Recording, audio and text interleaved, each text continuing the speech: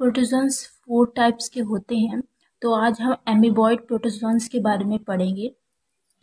अभी किसमें पाए जाते हैं? ये fresh water and sea water moist soil में पाए जाते हैं। मतलब एक्वाटिक में और टेरेस्ट्रियल दोनों में पाए जाते हैं। ठीक है?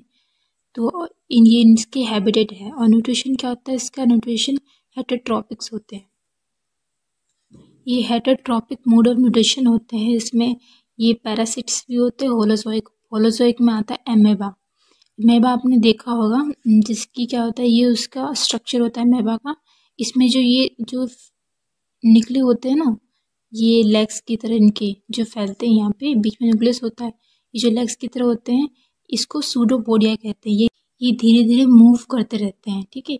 और ये जो इनके ये सूडोपोडिया होते हैं, ये जो, इसमें अपना ये फ़ूड कैप्चर करते हैं, यहाँ से यहाँ से दोनों तरफ़ फैलेंगे. ये कैप्चर है और इनको हेल्प भी करेंगे मूवमेंट में। ये धीरे धीरे, ऐसे ऐसे धीरे धीरे ना, ये मूव करते रहते हैं। जिसकी हेल्प से यहाँ पर कोई प्रे आया, यहाँ पे कोई भी इनका टारगेट आया तो ये उसको कैप्चर कर लेंगे सूडोपोडिया की हेल्प से, ठीक है? तो होलोजोइक में एमेबा आ गया। और पैरासिटिक्स पैरासिटिक में आता है एंटामेबा हिस्टोलेटिका ये क्या होता है? ये जो हमारे इंटेस्टाइन में होते हैं ये जो ऑर्गेनिज्म होते हैं ये हमारे इंटेस्टाइन में होते हैं ये डिज़ीज़ कॉज करते हैं इंटेस्टाइन में।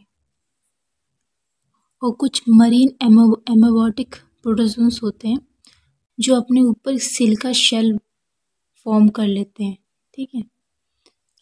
अब फ्लैजिलेटेड प्रोटोजोन्स ये क्या होते हैं? दे हैव अ फ्लैजिला उनके पास फ्लैजिला होती है, ठीक है? फ्लैजिला किस किसमें हेल्प करती है? इनको मोटेलिटी प्रोवाइड करती है मूवमेंट में हेल्प करती है, ठीक है? जो ग्रुप ऑफ़ मेंबर्स होते हैं, वो फ्री लिविंग होते हैं और पैरासिटिक्स होते हैं। फ्री लिविंग एक्वेटिक में होते हैं, ठीक है? और पैरासिटिक्स भी होते हैं। पैरासिटिक्स क्या करते हैं?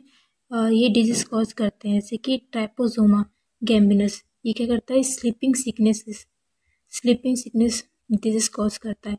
इसमें क्या होता है कि स्लीपिंग पैटर्न में कुछ प्रॉब्लम आ जाती है, ठीक है? ये फ्लैचुलेटेड प्रोटोजोन्स है।